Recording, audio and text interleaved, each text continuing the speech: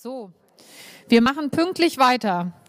Ich sage ja, das ist die große Herausforderung äh, zwischen äh, Präsenz und digital. Äh, diejenigen, die digital teilnehmen, die sind in der Regel etwas pünktlicher vielleicht wieder am Bildschirm. Vielleicht, vielleicht aber auch nicht.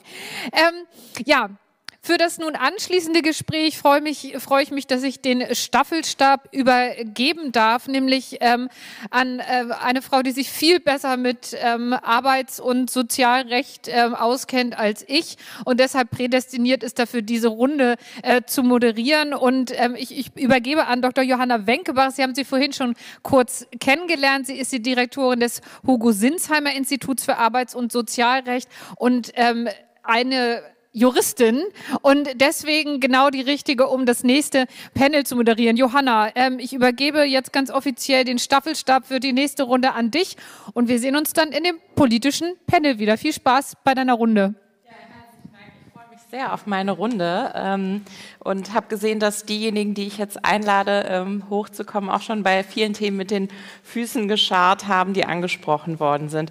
Als erstes freue ich mich sehr, dass Isabel Hensel heute hier ist. Dr. Isabel Hensel ist akademische Mitarbeiterin am Lehrstuhl für Bürgerliches Recht, Europäisches und Deutsches Arbeitsrecht an, ähm, äh, von Dr. Eva Kocher, von Professor Eva Kocher an der Europäischen Universität Viadrina und sie ist auch Mitglied in der Kommission für Arbeits- und Wirtschaftsrecht des Deutschen Juristinnenbundes, der ein ähm, Konzept entwickelt hat, eine Konzeption für ein Gleichstellungsgesetz in der Privatwirtschaft. Und Isabel hat die herausfordernde Aufgabe, diese Riesenkonzeption jetzt hier in nur ungefähr zehn Minuten darzustellen. Wir haben schon festgestellt, dass uns die Zeit zur Diskussion wahrscheinlich nicht reichen wird, die wir haben, aber wir hoffen, dass wir auf jeden Fall wesentliche Anregungen geben können. Das ist nämlich auch da Professorin Heide Fahr. Liebe Heide, kommt zu uns. Heide ähm, ist als äh, Prof, äh, ehemalige Professorin für Arbeitsrecht, ähm, Vorsitzende der Kommission für Arbeits- und Wirtschaftsrecht des Deutschen Juristinnenbundes, ähm, hat also den Entwurf dieser Konzeption geleitet und ist hier, um ihn mit uns zu diskutieren. Und wir freuen uns auch sehr, dass äh, Professorin Katja Newe da ist, die sich eben auch schon rege an der Diskussion beteiligt hat. Sie ist Professorin für bürgerliches Recht, Arbeitsrecht und das Recht der sozialen Sicherheit an der Martin-Luther-Universität Halle Wittenberg und sie ist Mitglied des, ähm, Sachverständ der Sachverständigenkommission für den dritten Gleichstellungsbericht und wird heute das aus ihrer Perspektive kommentieren, was im DJB entwickelt worden ist. Und ähm, ich würde jetzt, um die kurze Zeit gut zu nutzen, gleich an Isabel das Wort erteilen. Dank, Johanna. Ich freue mich, äh, dass ich heute den Gesetzesvorschlag des DJB, konkreter der Kommission Arbeits-, Wirtschafts- und Gleichstellungsrecht, geleitet von Heide Fahr, vorstellen darf. Nachdem heute auch schon von dem Systembetrieb, das hat mir sehr gut gefallen, die Rede war, können wir daran gut anknüpfen. Ich glaube, wir haben ausgehandelt, ich habe eine Viertelstunde Zeit, von Stimmt. daher. Habe ich ähm, fünf, fünf, wichtige Minuten das, gestohlen. Das Heilchen um die Minuten hat begonnen. Ähm, genau, und ich werde gleich starten, um in dieses ähm, komplexe, doch ähm, in der Langfassung über 50-seitige Dokument ähm, vorzustellen. Ähm, am Ende finden Sie auch noch einen Link dazu, wo Sie das direkt einsehen können. Angetrieben ist die Konzeption eines Gleichstellungsgesetzes für die Privatwirtschaft von der Erkenntnis, dass das verfassungsrechtliche Gleichstellungsgebot auch nach 60 Jahren nicht verwirklicht ist. Dass dringender Handlungsbedarf besteht, zeigen gerade im europäischen Vergleich ähm, eine Vielzahl von Indikatoren, von denen wir heute auch schon gehört haben, ähm, sodass ich mir das sparen kann. Und mit dem durch Globalisierung und Digitalisierung hervorgerufenen Standort- und Flexibilitätsdruck vertiefen sich diese Diskriminierungsstrukturen noch. Dabei muss Gleichstellung in der Privatwirtschaft nicht nur Wahlfreiheit, auch das haben wir heute schon gehört, sondern tiefergehend gleiche Verwirklichungschancen sichern. Auch äh, also so garantieren, damit alle Beschäftigte ihre Existenz eigenständig sichern können und wirtschaftlich abhängig, äh, unabhängig sind, auch mit neben der Erwerbsarbeit zu erbringender Sorgearbeit. Dies muss für alle Geschlechter die Vielfalt und die Unterschiedlichkeit von Lebensrealitäten und die zahlreichen Modelle der Lebensgestaltung gleichermaßen gelten.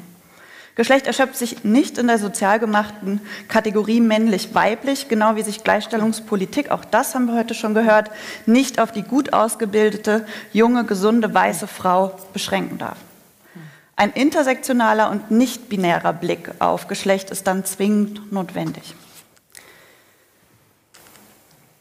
Es lässt sich festhalten, dass sich die Rahmenbedingungen für Gleichstellungspolitik grundlegend verändert haben und noch herausfordernder geworden sind. Aber die bisherigen Instrumente, die rechtlichen Instrumente, scheinen zu versagen. Das geltende auf Individualrecht basierende Antidiskriminierungsrecht kann dem nur wenig entgegengesetzen, weil seine gerichtliche Geltendmachung zu voraussetzungsreich ist und den Diskriminierten selbst aufgebürdet wird. Zudem bleibt der Schutz nachträglich und nur punktuell. Genauso versagen auf Freiwilligkeit basierende Gestaltungsaufforderungen an Unternehmen, die darauf vertrauen, die, die ähm, Vertrauen in den Markt ähm, setzen. Sie sind meist wirkungslos geblieben oder als PR-Maßnahmen verpufft. Auch regulatives Gesetzesrecht greift regelmäßig und notwendigerweise zu kurz. Ein allgemeines Gesetz ist zu starr um, und kann die Vielzahl betrieblicher Organisationen von kleinen und mittelständigen Unternehmen bis hin zu großen Plattformgiganten, die Vielzahl der Branchen und Unternehmen mit ihren unterschiedlichen regelmäßig verdeckten Diskriminierungsstrukturen nicht in, ihrer, in einer allgemeingültigen Regel abbilden. Der begrenzte Anwendungs- und Wirkungsbereich des Führungspositionengesetzes zeigt dies. Aber wie kann dann Gleichstellung durch Recht hergestellt werden? Wie schaffen wir passgenaue, verbindliche und durchsetzungskräftige, umfassende Lösungen im Sinne eines bedürfnisorientierten Arbeitsrechts? Also solche, die den Interessen und Verwirklichungschancen von allen Frauen auf allen Arbeitsplätzen und in allen Beschäftigungsbereichen Rechnung tragen. Nach der Maxim des Bundesverfassungsgerichts effektive Regelungen zu schaffen, ähm, ist es unverzichtbar, hier rechtlich auszugestalten. Der Gesetzgeber ist also dringend und zwingend aufgefordert, auch kreative Lösungen zu suchen. In diesem Sinn geht die Konzeption davon aus, dass es einer prozeduralen, überwiegend kollektivrechtlichen Ausgestaltung der derzeitigen Rechtslage bedarf. Sie wählt daher einen ganzheitlichen Präventionsansatz, der mit kontinuierlich langfristigen Strategien die Strukturen und Entscheidungen in Unternehmen derart verändert, dass eine geschlechtergerechte Unternehmenskultur denkbar wird. Dabei setzt sie nicht auf Freiwilligkeit, wie vorherige Regelungen, sondern fordert eine Verpflichtungsstruktur zur Umsetzung der materiellen Rechtslage. Die Konzeption formuliert im Sinne des Modells regulierter Selbstregulierung einen umfassenden und verpflichtenden Gestaltungsauftrag derjenigen AkteurInnen, die direkt an den Beschäftigten dran sind, also die auch gestalten können. Unternehmen, Führungskräfte, ArbeitnehmerInnen, und ihre Interessenvertreterinnen sollen selbst verbindlich entscheiden und aushandeln, also selbst regulieren, welche Gleichstellungsmaßnahmen im konkreten Unternehmen möglich, realisierbar und notwendig sind. Auf diese Weise von AkteurInnen getragene Lösungen versprechen eine besondere Rechtssicherheit und Effizienz.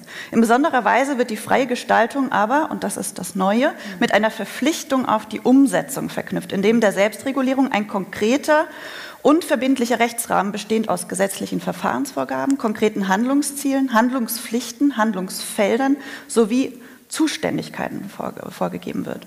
Festgelegt, festgelegt, werden also mit Blick auf die nach wie vor bestehenden Ungleichgewichtslagen vier Handlungsfelder und ihre Zusammenhänge.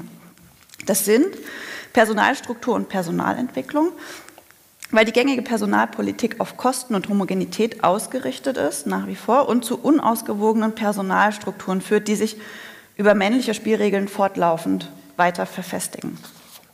Das ist Entgelt, weil die gesellschaftliche Wirklichkeit hier mit, äh, im krassen ähm, Gegensatz zur rechtlichen Lage steht und es enorme Durchsetzungsdefizite gibt. Das ist Arbeitsgestaltung und Gesundheitsschutz weil überproportional Frauen von nachteiligen Arbeitsbedingungen betroffen sind und sich das in hohen Zugangshürden niederschlägt. Und das ist Arbeitszeit und Sorgearbeit, weil die Flexibilitätsbedürfnisse der Beschäftigten nach wie vor nur unzureichend berücksichtigt werden und die ungerechte Verteilung von Erwerbs- und Sorgearbeit Verwirklichungschancen von Frauen einschränkt.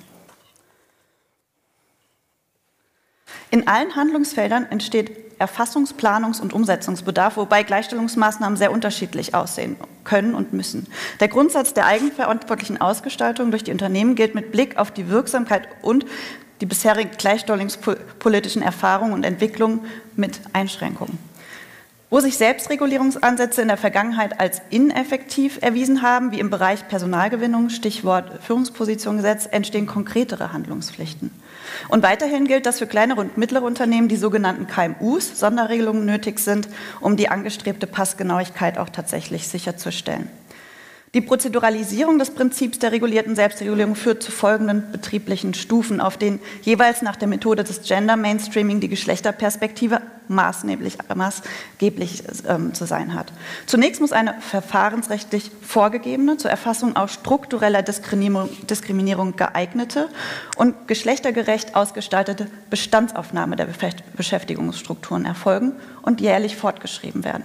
Bezüglich KMUs ist es angezeigt, die systematische Bestandsaufnahme zu vereinfachen, etwa indem digitale Tools zur Verfügung gestellt werden, zertifizierte Tools natürlich, Checklisten, Meldeportale. Ähm, gerade hier zeigen sich auch die Chancen der Digitalisierung, was uns wichtig ist zu betonen. Die Bestandsaufnahme ermöglicht eine unternehmensspezifische Analyse der Erfassungsdaten mit dem Anknüpfungspunkt Geschlechterverhältnis. Ergibt die Bestandsaufnahme ein unausgeglichenes Geschlechterverhältnis, so gilt das als Indiz dafür, dass es Diskriminierungsstrukturen im Unternehmen gibt. Die Analyse hinterfragt dann die Gründe für das unausgeglichene Geschlechterverhältnis, um diese Strukturen aufzudecken. Dazu müssen die einzelnen Handlungsfelder getrennt analysiert werden, aber auch in, ihren Zusammen, in ihrem Zusammenwirken. Auf der Grundlage dieser Analysen haben die Unternehmen dann betriebsspezifische, also eigene bindende Gleichstellungsstrategien zu entwickeln. Für alle Handlungsfelder haben auch ihre Zusammenhänge, aber auch ihre Zusammenhänge untereinander sind Ziele für einen Zeitraum von drei Jahren festzusetzen und plausibel darzulegen, wie, mit welchen Mitteln, durch wen und wann die Handlungsziele erreicht werden sollen. Realistische, auf Fakten begründete Etappenziele müssen auch möglich sein. Möglich sein. In der Umsetzungsphase gilt ein internes Monitoring oder Maßnahmen Gender, eines Gender Compliance Managements als notwendig. Verantwortlich für die Umsetzung sind also die Unternehmen selbst und die Kollektivakteure in den Betrieben, also diejenigen, die Arbeitsbeziehungen gestalten können. Die Erfahrung belegt, dass die Spitze der Unternehmen selbst für die Entwicklung sorgen, zuständig sein muss und entsprechend tätig werden und motivieren muss. Dieser Top-Down-Ansatz gilt selbstverständlich unter Beachtung einer oder starker Mitbestimmungsrechte. Die, die Tarifvertrags- und Betriebsparteien spielen eine entscheidende Rolle, da sie die horizontale, horizontalen Prozesse vor allen Dingen voranbringen müssen, indem sie zum einen die Dringlichkeit der Veränderung anmahnen, Handlungs- und Verhandlungsdruck erhöhen, mit ihren rechtlichen Mitteln durchsetzen und Konflikte mit Tarifregelungen beheben. Dazu müssen nicht nur ihre Rechte erweitert werden, sondern die Kollektivakteurinnen selbst sind aufgefordert, sich hinreichend zu sensibilisieren und eigene Gleichstellungsstrategien zu entwickeln, um dem auch was entgegensetzen zu können. In einem Modell regulierter Selbstregulierung, das anstatt auf Freiwilligkeit auf Verbindlichkeit setzt, muss neben die Umsetzung eine starke Durchsetzungsebene treten. Wie also können Unternehmen zur Umsetzung der selbst auferlegten Handlungspflichten gebracht werden? Die Konzeption sieht in Kombination gesellschaftlicher und staatlicher Kompetenzen unter Einbindung von Kollektivakteuren mehrere Stoßrichtungen vor. Weil oberstes Ziel der Konzeption die Veränderung der Unternehmenskultur ist, also Nachhaltig muss die Aktivierung der Selbstgestaltung, also der Selbstregulierung, noch vor Sanktionen stehen. Dazu ist zweierlei vorgesehen. Zunächst die Unterstützung der Umsetzung durch den Auf- und Ausbau gesellschaftlicher wie auch wirtschaftsnaher Strukturen. Für KMUs ist dies mangels Kollektivstrukturen besonders wichtig. Bestehende Institutionen wie Antidiskriminier die Antidiskriminierungsstelle des Bundes, auch die Bundesstiftung Gleichstellung oder das Netz der Antidiskriminierungsstellen der Länder können hier übergreifend tätig werden, etwa indem sie anwendungsgerechte, vor allem digitale zertifizierte Tools zur Datengenerierung, aber auch zur Analyse und Evaluation zur Verfügung stellen. Sie können Best-Practice-Beispiele geben und vor allen Dingen Wissen und spezielle Gender-Kompetenz schulen. Daneben hätten regionale und lokale Institutionen wie Gleichstellungsstellen und kommunale Frauenbüros die Möglichkeit, direkt vor Ort zu wirken, in die Firmen zu gehen und in die Unternehmen zu gehen. Denkbar ist auch, dass Kammern, Innungen oder regionale Untergliederungen von Wirtschaftsverbänden, in denen KMUs organisiert sind, stärker eingebunden werden. Neben der Unterstützung können Anreize wie positive Reaktionen auf die Umsetzung hinwirken, indem sie die Unternehmen belohnen, die sich rechtstreu verhalten und Umsetzungserfolge vorweisen können. Erfolgsversprechend scheinen hier vor allem steuerliche und sozialversicherungsrechtliche Erleichterungen, Auditierungen, Zertifikate, die Unternehmen ausweisen, sowie privilegierte Zugänge zu öffentlichen Aufträgen und Beihilfen. Es bedarf aber auch stärkerer Einwirkungsmöglichkeiten, die geeignet sind, nicht nur indirekt Druck aufzubauen. Die Gleichstellungspolitiken für die Privatwirtschaft in anderen Ländern, die mit ihren Regulierungs- Vorstößen teilweise schon viel weiter sind als Deutschland, zeigen, dass allzu softe Mechanismen, etwa Blame and Shame, wirkungslos bleiben, solange sie alleine stehen. Denn das bloße Sichtbarmachen von Gleichstellungsdefiziten führt eben nicht zu einer Änderung des, ähm, des Bewusstseins. Und Schäden lassen sich allzu leicht einpreisen. Positive Beispiele sind dagegen Regulierungs, ähm, äh, Regelungsinitiativen etwa in Frankreich, Norwegen, Island, auch Kanada, die auf Regulierungsdruck von außen setzen. Auch in nationalen Ansätzen regulativer Selbstregulierung findet man durchaus schon solche Elemente, entweder in dem, ähm, zum Beispiel in dem Gesetz über die unternehmerischen Sorgfaltspflichten in Lieferketten oder im Netzwerkdurchsetzungsgesetz, ähm, das, die ähnlich funktionieren. Also auch hier auf eine Fremdkontrolle horizontaler Regulierung setzen. Ausgehend von, dieser bisherigen, äh, von diesen bisherigen Erfahrungen anderer Regelungssysteme benennt die Konzeption Kriterien und zeigt das Handlungsspektrum zur Durchsetzung auf. Zentrales Durchsetzungskriterium ist danach die Schaffung von Transparenz, damit die den Unternehmen auferlegte Selbstkontrolle von außen fortlaufend durch eine Fremdkontrolle gesichert werden kann. Zunächst ist die eigenverantwortliche Umsetzung durch die Unternehmen durch ein Gleichstellungsmonitoring zu begleiten und zu sichern. Die Veränderungsprozesse in Unternehmen müssen sichtbar gemacht werden. Mit Blick auf andere europäische Regelungsvorbilder haben auch wir Berichtspflichten daher an den Anfang gesetzt. Unternehmensintern erhobene Daten über den Stand der Gleichstellung und der Unternehmenspolitiken sollen öffentlich zugänglich gemacht werden. Auditsysteme, Zertifizierung und Beglaubigung der Daten müssen deren Richtigkeit gewähren. Formalisierung und Digitalisierung ähm, können dazu führen, dass eine breitere Erfassbarkeit von Daten hergestellt wird, auch eine Vergleichbarkeit. Die Berichte dienen als Grundlage für weitere Überprüfungs- und Einwirkungsmöglichkeiten, sind also nicht der Endpunkt. Dazu haben die Berichte an externe staatliche bzw. staatlich zertifizierte Institutionen zu gehen und die Abgabe muss verpflichtend, strafbewehrt und einklagbar sein. Werden Defizite in der Selbstkontrolle, also Umsetzungsversagen, festgestellt, muss über empfindliche Sanktionen wie Bußgelder und staatliche Ordnungsmaßnahmen wie Strafanzeigendruck ausgeübt werden, damit diese intern wieder zum Laufen gebracht werden. Von vornherein als sogenannte letzte Mittel angedroht können sie zu Verhaltensänderungen führen. Zwei Wege der Durchsetzung der Sanktionen sieht die Konzeption daher vor. Zum einen den Ausbau des kollektiven Rechtsschutzes, also unabhängig von individueller Betroffenheit, müssen zivilgesellschaftliche AkteurInnen wie anerkannte Antidiskriminierungsverbände, zu denen auch Gewerkschaften gehören, mit Verbandsklagebefugnissen ausgestattet werden und den, vor den Arbeitsgerichten klagen können. Gerichte können so bußgeldbewehrt die Umsetzungsdefizite und Pflichten feststellen. Und zum anderen können Sanktionen auch direkt durch kontrollierende AkteurInnen verhängt werden, wie es einige Länder bereits vormachen sollten, unabhängige staatliche Kommissionen errichtet werden, beziehungsweise bestehende ausgestattet und ermächtigt werden vor allen Dingen. Sie dazu, eigene Überprüfungen durchzuführen, Abhilfe aufzufordern, konkrete Handlungspflichten auszusprechen und Sanktionen auszusprechen. Vor allem dann, wenn es in den Berichten Anhaltspunkte gibt. Auch dafür bieten sich wiederum die Antidiskriminierungsstellen der Länder an. Geprüft werden sollte aber auch, ob ähm, privatwirtschaftlich tätig werdende Unternehmen durch Auditierung und Zertifizierung hier ermächtigt werden könnten. Der gesamte Prozess der Herstellung einer geschlechtergerechten Unternehmenskultur von der Aufdeckung der Diskriminierungslagen über die Festlegung der Gleichstellungsstrategien bis zur Durchsetzung ist ein Projekt, für das ein langer Atem und viele Schritte nötig sind. Zieht es doch auf nicht weniger als ein Wandel im unternehmerischen Selbstverständnis. Die Änderung der Narrative bis hin zur Änderung der Strukturen müssen langfristig gedacht, aber dringend angefangen werden.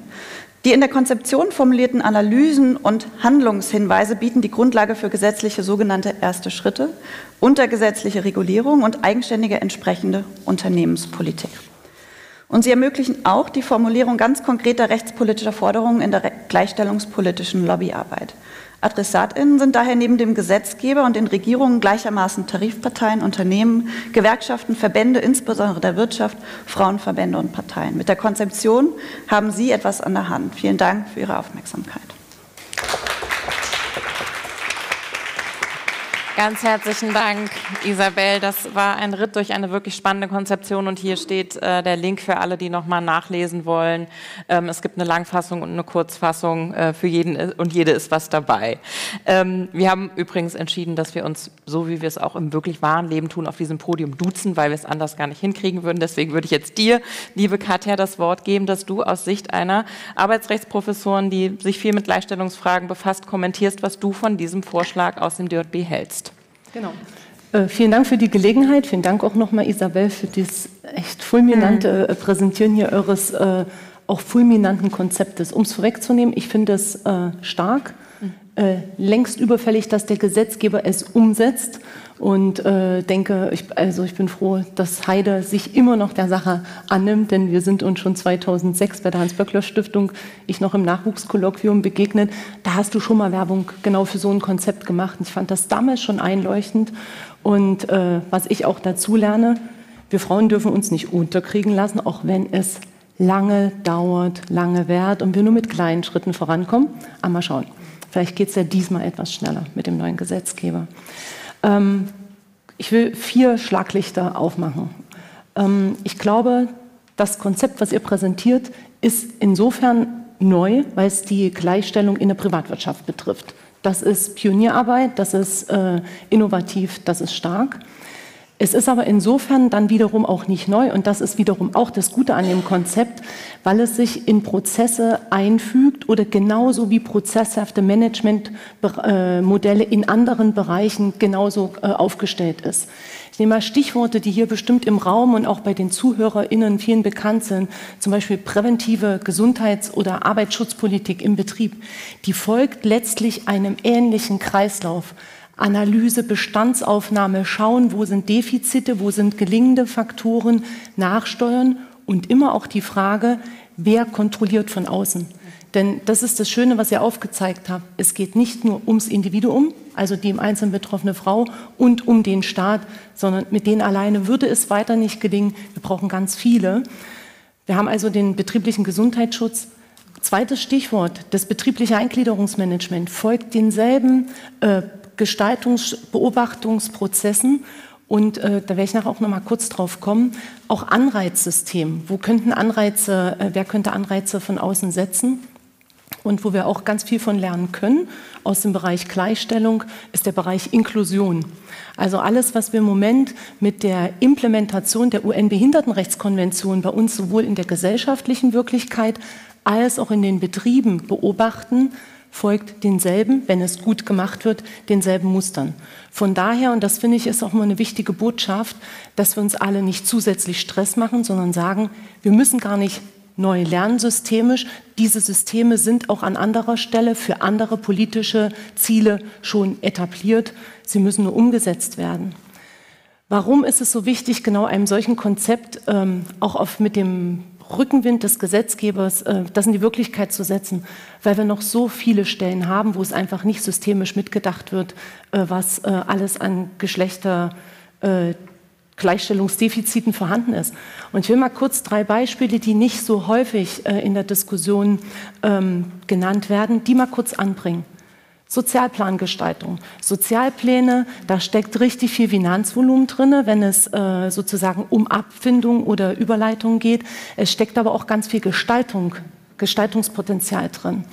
Wenn man dort nicht genau schaut, wer wird durch Sozialpläne mitgedacht, wer wird adressiert, wer wird mit welchen Leistungen mitgedacht, dann können ganz schnell Minderheiten äh, hinten runterfallen. Klassisches Beispiel, die Schwerbehinderten, an die denkt meist nie jemand. Da haben wir jetzt durch den EuGH äh, Rückenwind.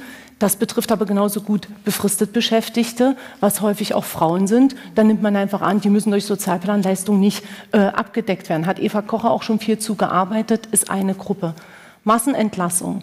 Wenn wir bei Massenentlassungen zum Beispiel Sonderkündigungsschutz haben, dann musste erst das Bundesverfassungsgericht dem Bundesarbeitsgericht vor wenigen Jahren sagen, ihr müsst natürlich auch die mit Sonderkündigungsschutz beim Zählen von Massenentlassungsbetroffenen, äh, da müsst ihr die erst recht mit berücksichtigen und können nicht sagen, das ist so eine andere Kategorie, die ist besonders schutzbedürftig. Dritte Gruppe, Teilzeit. Wir haben im Moment eine aktive Rechtsprechung, äh, wo es darum geht, äh, sind auch Menschen, die in Teilzeit sind, das sind überwiegend Frauen, bekommen die ab der Stunde, die sie über ihren individuellen Arbeitszeitkorridor mehr Arbeit leisten, bekommen die da Überstundenvergütung. Das macht ganz viel vom Gender Pay Gap aus. Das fragt jetzt gerade nochmal das Bundesarbeitsgericht beim Europäischen Gerichtshof an.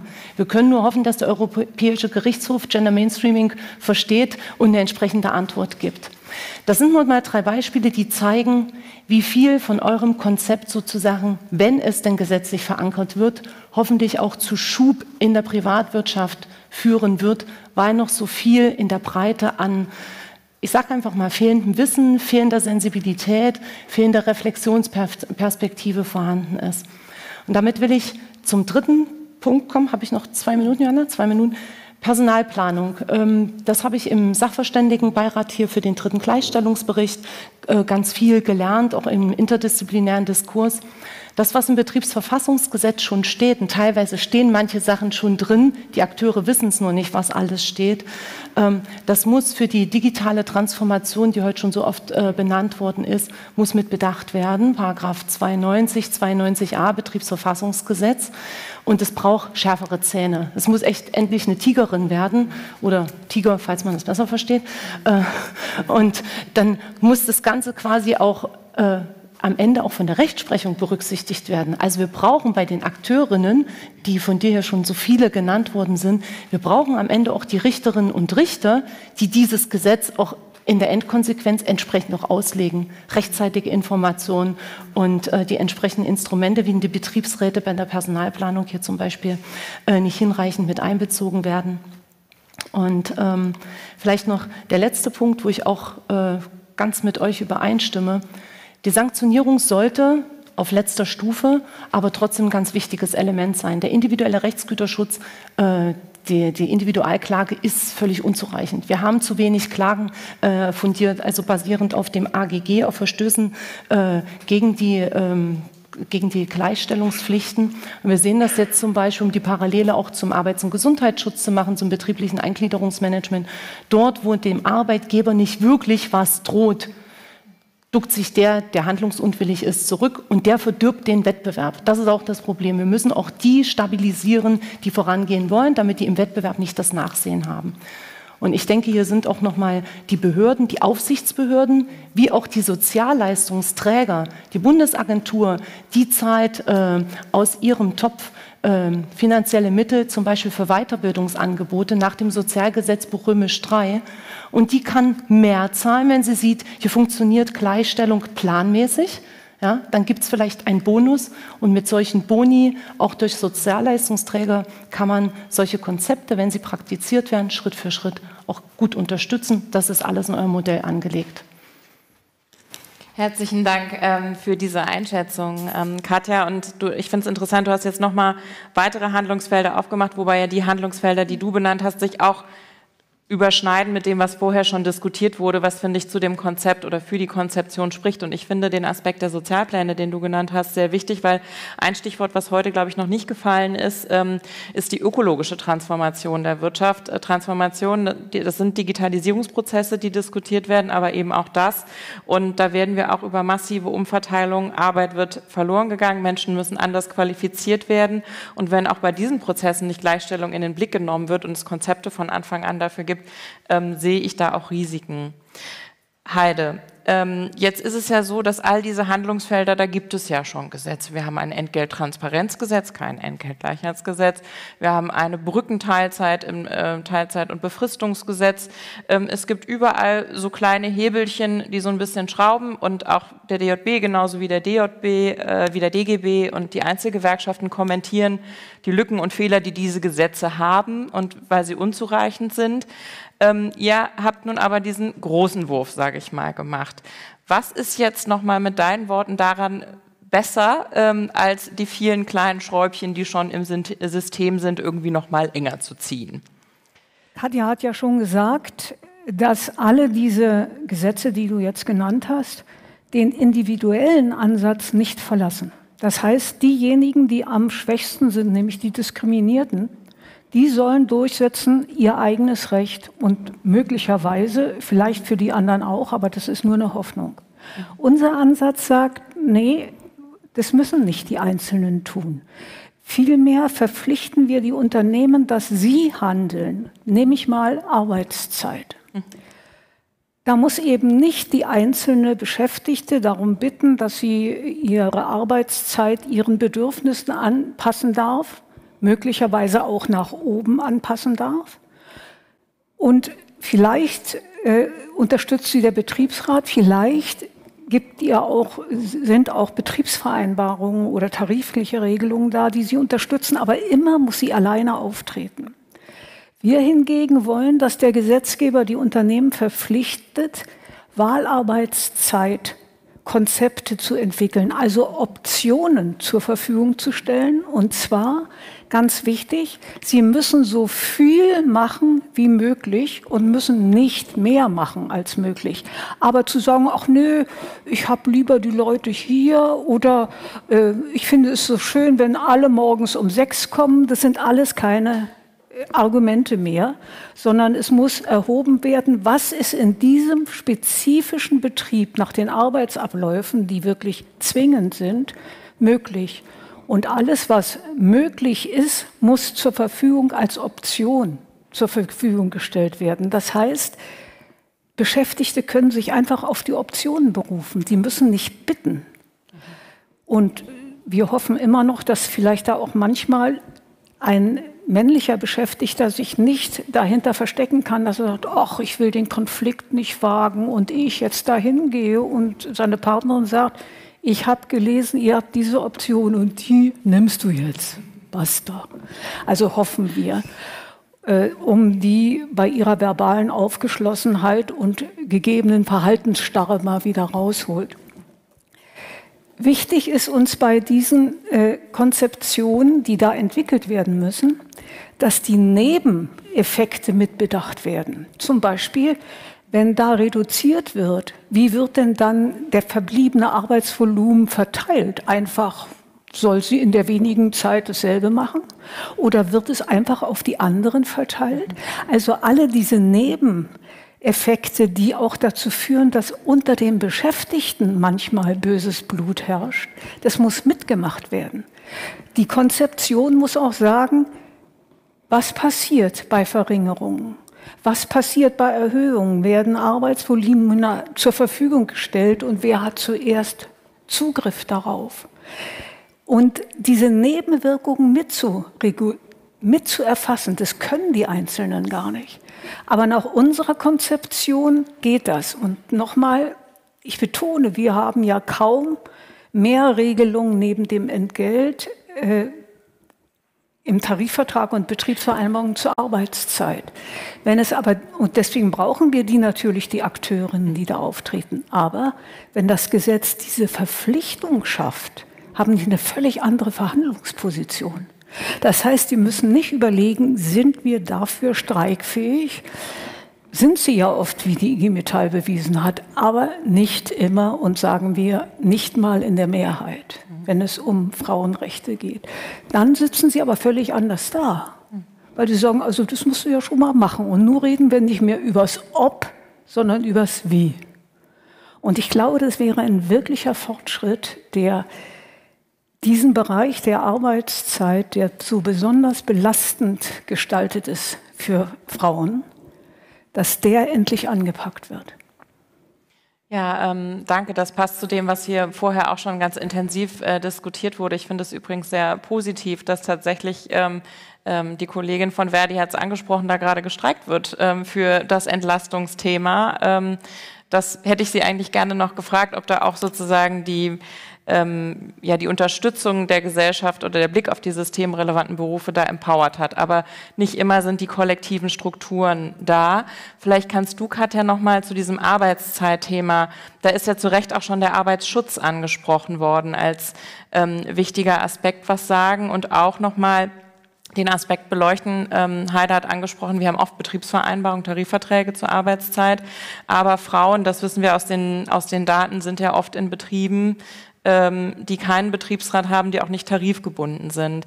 Deswegen der Blick auf die ähm, anderen Akteure, die da wichtig sind, um die Durchsetzung dann auch ähm, zu verfolgen. Vielleicht kannst du dazu noch mal mhm. was erläutern. Genau. Ähm, ja, ich wollte vielleicht nur noch mal kurz vorwegschicken, ich wollte gar kein fünftes Handlungsfeld aufmachen. Mhm. Ich dachte schon, also ich wollte mich in das diesen Handlungsfeldern ja. äh, mit platzieren mhm. und äh, ich will das jetzt gar nicht irgendwie rechtfertigen, sondern nur noch mal ganz kurz nicht, dass wir uns gegenseitig das Leben noch schwerer machen. Genau. Ähm, ja, also vielleicht ganz kurz, was Heide äh, Fahr eben gesagt hat, dieses äh, Optionen zur Verfügung stellen und die Folgen von äh, Einzelflexibilisierungsmaßnahmen insgesamt mitzubedenken. Ich glaube, das ist auch äh, gleichstellungsperspektivisch ein Riesenthema. Ich untermale das immer gern mal mit Beispielen, damit man sich schnell plastisch am konkreten Beispiel eine Vorstellung machen kann. Wir haben das im öffentlichen Dienst überall dort, wo wir Sonderbeurlaubungszeiten haben, äh, haben wir natürlich die, sage ich mal, komfortabel, komfortabel ähm, ausgestatteten Dauerarbeitsverhältnisse, zum Beispiel in der Justiz, die Beschäftigten, die dann neben Elternzeit auch nochmal einen Sonderurlaub, macht ja auch Spaß, mit 50 Jahren vielleicht doch nochmal ein halbes Jahr Sabbatical oder sowas einzulegen. Hätte ich super gerne. So, das Problem ist nur, wenn solche Gestaltungsoptionen dann zu Lasten anderer gehen, weil der Arbeitgeber in diesem Fall, zum Beispiel Justiz NRW nehme ich mal, weil es da viele Fälle bis zum EuGH gab, weil der dann diese Vertretungsbedarfe immer nur befristet absichert. Und schon haben wir ein Problem, weil dann die äh, komfortable Situation der einen Frau auf Kosten der anderen, meist junge Frauen. Und schon haben wir ein Dilemma bei der Gleichstellung äh, wohin verschiebe ich denn meinen Kinderwunsch, wenn ich am Anfang so prekär starte? Und deshalb ist euer Modell in dieser Ganzheitlichkeit auch so, so gut, weil es die Dinge auch von der individuellen Ebene auf die kollektive Verteilung ähm, auch bringt. Und zur Arbeitszeit, ähm, auch da, das Optionen zur Verfügung stellen. Also ich habe mir das jetzt aufgeschrieben, das werde ich in irgendeiner Veröffentlichung unterbringen. Ich finde, es braucht immer diese Option, Begriffe, ja. ja. Diese äh, auch schon Wahlarbeitszeit finde ich ist ein ganz starker Begriff, weil wir eben mit dem und da müssen wir auch das zum Beispiel das BMFSFJ abholen. Die sind noch relativ ja. fokussiert auf öffentliche Kinderbetreuung und auf Freistellung und vielleicht Teilzeit während der Elternzeit oder Pflegezeit. Das greift zu kurz, weil wir haben dazwischen in unseren wie lange gehen wir arbeiten? 35 Jahre in dieser Lebensphase. Wir haben andere, immer wieder fluide, sich verändernde Bedarfe. Und das muss im Arbeitsrecht umgesetzt werden. Und dazu müssen äh, Human Resources, Betriebsräte, Tarifvertragsparteien, dazu müssen alle eine Idee haben, eine Vorstellung haben, damit es ein ganzheitliches Konzept wird. Weil allein mit diesem alten Begriff Weisungsrecht und ins Ermessen gestellt, da steht ja nicht mal drin in der Gewerbeordnung, dass der Arbeitgeber Familie berücksichtigen muss. Ja, das muss man sich vorstellen. Das steht nicht im einfach geschriebenen Gesetz. Und dann hätte man nämlich auch mehr die Väter mit drin. Und das ist nämlich nach meiner persönlichen Erfahrung auch ein Riesenproblem. Am Ende laufen wir über die äh, Statistiken, dass wir sagen, die Frauen sind benachteiligt. Wir werden so lange benachteiligt bleiben, wie unsere Männer sich nicht über mittelbare Geschlechterdiskriminierung auf progressive Schritte berufen können. Ja. Ja, danke. Also ähm, ich denke, diese, dieses Argumentieren mit Optionen, genau wie du gesagt hast, da kann man Verbündete ähm, auch auf der anderen Seite der Macht sozusagen womöglich finden.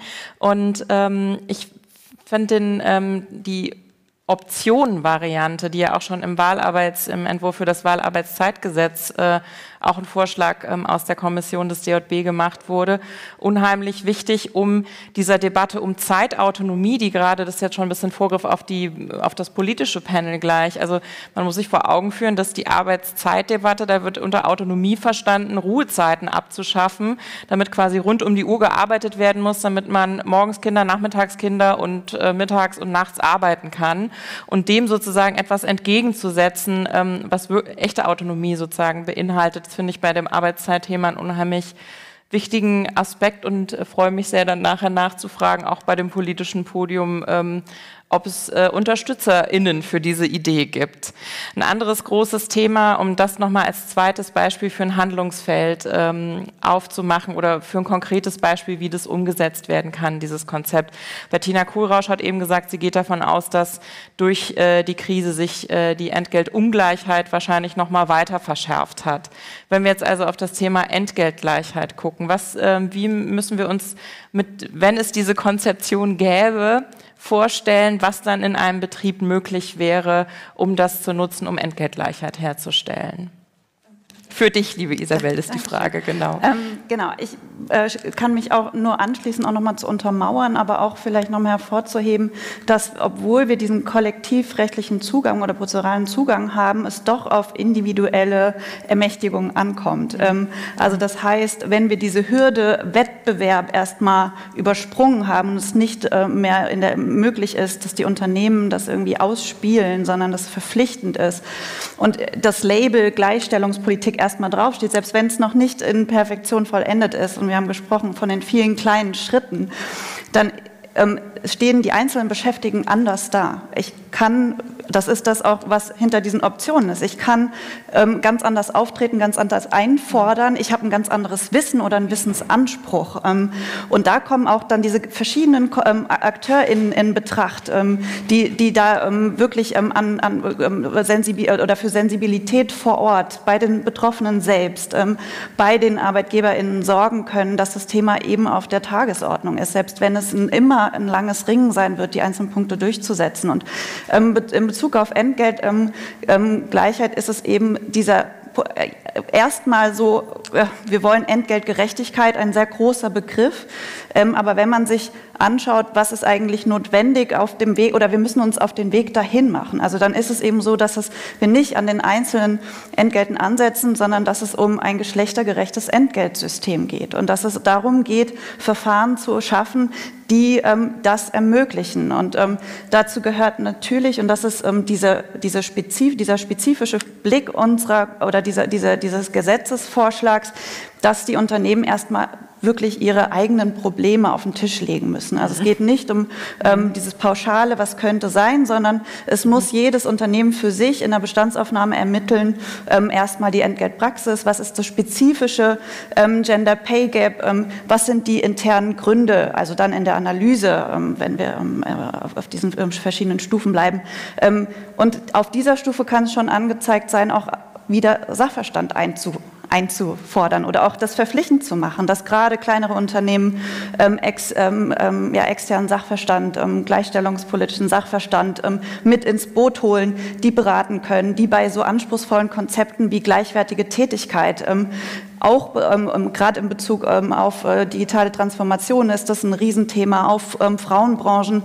Ähm, es, ähm, muss es, muss das, ist es ein Konzept, das erstmal durchdrungen werden muss. Und genau, sich damit auseinanderzusetzen, möglicherweise auch wieder mit Hilfe von ja, digitalen Tools, Arbeitsbewertungssystemen, das ist ein großer Vorteil, dass man einfach Licht ins Dunkel bringt und dann dieses, diese, dieses Licht auch in den Betrieb bringt bringt. Also wir haben gesagt, die Entgeltberichte müssen in die Werkhallen aufgehängt werden. Es muss allen sicht, äh, äh, ähm, deutlich sein, was, was Sache ist. Ähm, und ähm, es muss nachvollziehbar und dann auch in der Folge einforderbar sein. Und ähm, genau, das ist, äh, glaube ich, das. Also und dann kommen die Kollektivakteure ins Spiel, die sich darauf setzen. Aber das ähm, ist, glaube ich.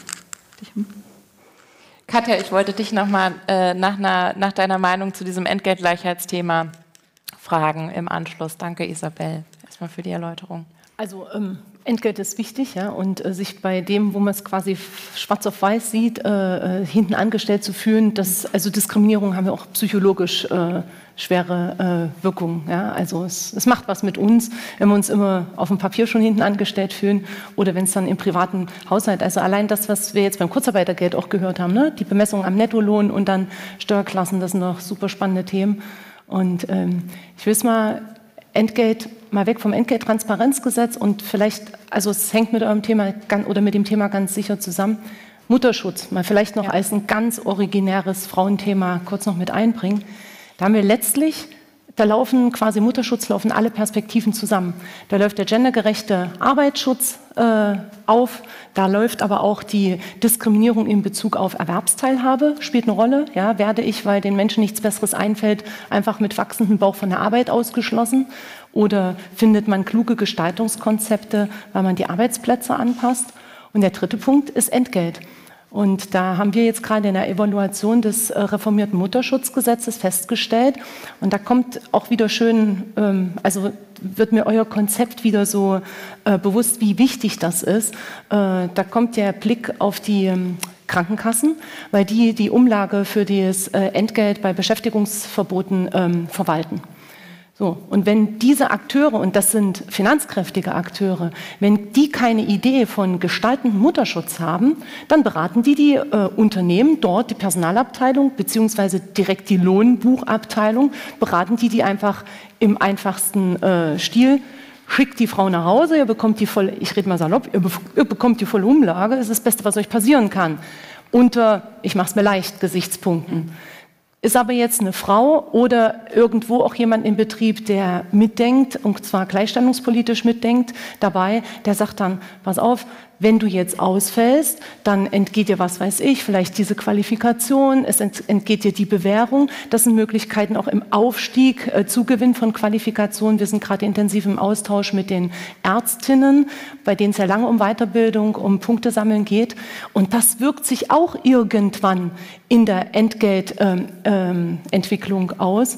Also das heißt, wir brauchen eigentlich ganz viele, die mitdenken und schauen, wo führen welche Weichenstellung, gehe ich den oder den Weg, wo führen die dann zu Rückschritten langfristig äh, im, im Entgelt. Also die Lebensverlaufsperspektive, die schon im ersten Gleichstellungsbericht, glaube ich, entwickelt mhm. worden ist. Mhm.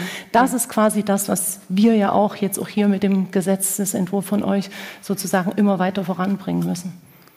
Ich wollte nicht ausweichen, sondern ich wollte es einfach Nein, nur ein bisschen weiter. Nicht. Ja. Es, ist, es ist nun mal das Feld so groß, äh, wie es ist. Äh, ich hätte jetzt sogar noch eine, eine weitere Ergänzung aufgemacht nach den Digitalisierungsdebatten. Ähm, auch da sind, so werden es ja Behörden sein, wenn wir uns den Entwurf für den KI-Act, also die europäische Verordnung für künstliche Intelligenz anschauen. Da werden es auch Behörden sein, die letztlich den entscheidenden Überwachungs, die über, entscheidende Überwachungsfunktion einnehmen.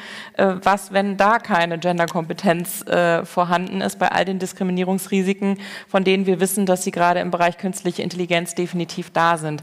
Aber ich wollte gern Heide auch noch mal das Wort geben zum Entgeltthema. Ich finde es ganz wichtig, auch diesen Hinweis von Katja und auch von Isabel, dass wir Expertinnenwissen in den Unternehmen und Betrieben brauchen. Mhm.